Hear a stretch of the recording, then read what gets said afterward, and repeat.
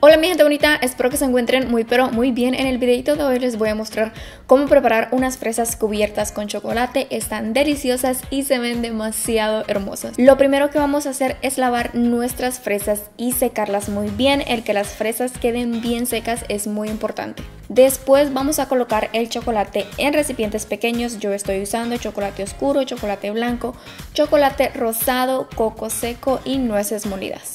Ahora tenemos que derretir el chocolate en el microondas por 30 segundos o un minuto y vamos a comenzar a cubrir las fresas con el chocolate. Necesitamos papel pergamino para colocar las fresas y dejarlas que se sequen y que no se nos peguen. Y vamos a hacer este mismo proceso con todas las fresas y los tres chocolates.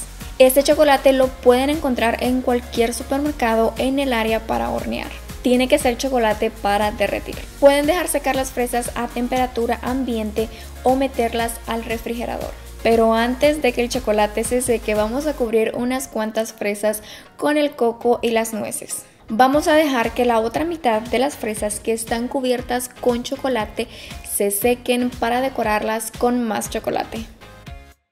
Y para esto solo vamos a necesitar una bolsita de plástico y le vamos a agregar una pequeña cantidad de chocolate y con unas tijeras le vamos a cortar un pedacito bien pequeñito en la punta.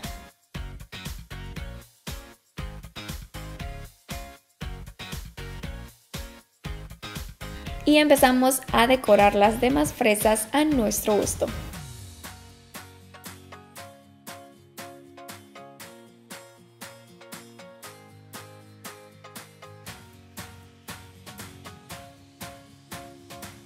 Y tarán, ya están listas nuestras fresas. Quedan demasiado hermosas y deliciosas.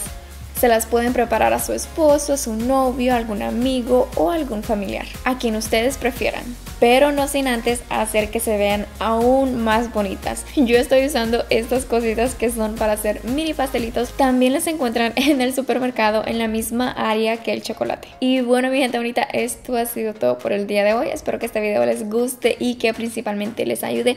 Mil gracias por ver, nos vemos en el próximo video. Bye.